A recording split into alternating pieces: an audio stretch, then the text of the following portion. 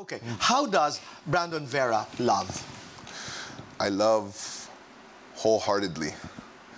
No questions asked. Umiyak ka na dahil sa pag-ibig? Opo.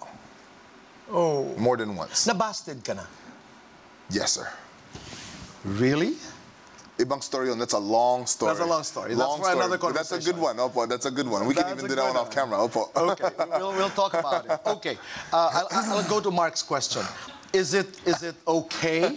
I mean, to have sex before a fight? I mean, your thoughts? Opo, it's it's okay to have sex even I would say the day of the fight. Basta kailangan you can't be carrying your partner around the house.